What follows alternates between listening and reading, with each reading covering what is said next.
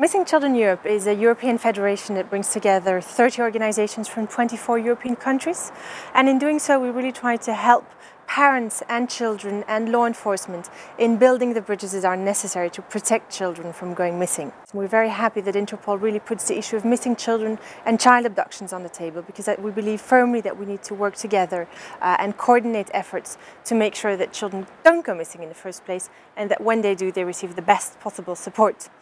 Um, I guess some of the findings from this uh, meeting today is that we have to make sure to use the tools that are available in the most effective ways.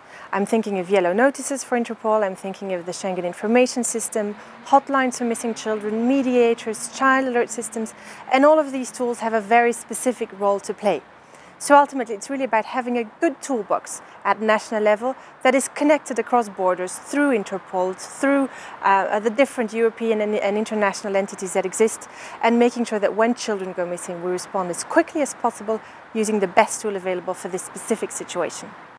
I think when a child goes missing, it is often a child that slips through the nets of child protection. And we need to make sure that we are there with parents, with families, with schools, all of those who are also represented to some extent here today, in prevent this child from going missing and being harmed. And to focus on the individual child and the needs of this individual child and respond to those effectively. And that is, I think, a struggle that we all face and that we have to continue to prioritize in all our actions, making sure that the child is at the center of our concern.